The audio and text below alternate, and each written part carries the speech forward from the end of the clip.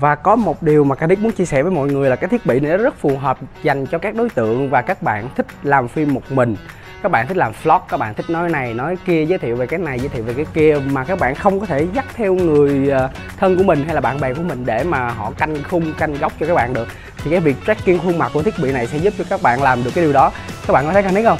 Ví dụ Canic muốn chia sẻ cái điều gì đó Canic cứ đặt cái máy cố định như vậy thôi, rồi Canic đi Canic di chuyển Canic nói, đây đây là cái này, đây là cái kia rất là tuyệt vời và các bạn sẽ thấy khung hình nó rất là uyển chuyển và đẹp hơn. Đó chưa kể là với cái combo mà dành cho nhà sáng tạo nội dung như vậy á thì các bạn sẽ có toàn bộ tất cả trong một chiếc hộp thôi.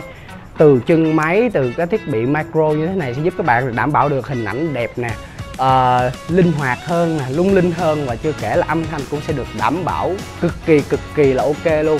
Thì Khanic rất thích là cái điều này. Đó như các bạn cũng chia sẻ bây giờ Khanic sẽ cho các bạn xem là cái combo mà Khanic đang sử dụng nó như thế nào ha? Đây nó chỉ đơn giản thôi. Đó Khanic uh, ờ, có một cái chân.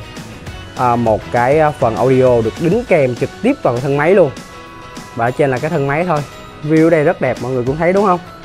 Và một chiếc mic cạo quá là đơn giản luôn. Chưa kể đây sẽ là một cái setup mà nó tối giản nhất cho các bạn có thể cầm nắm mang đi khắp nơi. Các bạn có dám cầm một chiếc điện thoại 13 Pro Max hay là 14 Pro Max ngoài đường các bạn làm vlog không?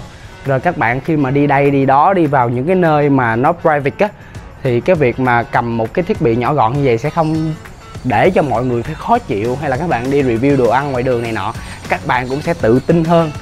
Thay vì các bạn cầm một chiếc máy to, một cái camera to, các bạn quay như vậy, đúng không? Nó vừa chiếm diện tích, nó vừa làm nặng nhọc, không làm cho các bạn linh hoạt được nữa. Thì cái thiết bị này giúp cho các bạn điều đó. Ví dụ như canon CD nha xin giới thiệu với các bạn, đây là một trong những cái nơi mà Canik cảm thấy thích thú nhất. Đây là một cái danh lam thắng cảnh gì đó. Chưa kể bây giờ Canic sẽ đánh về một vòng luôn, mọi người cũng thấy đúng không? Đó, thì công ty Canic thì sẽ nằm ở khu vực Bình Thạnh. Ở phía sau lưng Canic là khu vực cầu Bình Lợi.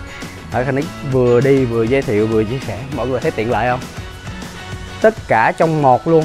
Thì đây là một cái thiết bị sẽ hứa hẹn, mang đến nhiều cái trải nghiệm cũng như là sẽ giúp các bạn lưu lại những cái thước phim mà các bạn ưng ý nhất để mà các bạn làm kỷ niệm. Một lúc nào đó các bạn cảm thấy cuộc sống không còn vui vẻ nữa, không còn niềm tin nữa, không biết bám víu vào cái gì, thì những cái video kỷ niệm sẽ giúp các bạn có thêm động lực để các bạn tiếp tục sản xuất thêm video nữa.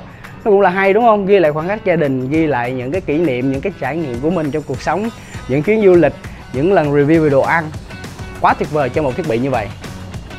Chưa kể là việc cầm nắm như vậy nó cũng rất là dễ chịu, cũng rất là thoải mái nữa. Các bạn sẽ có một thiết bị chống rung giúp cho các bạn à, làm ra những cái thước phim nó mượt mà hơn, giúp người xem không bị khó chịu.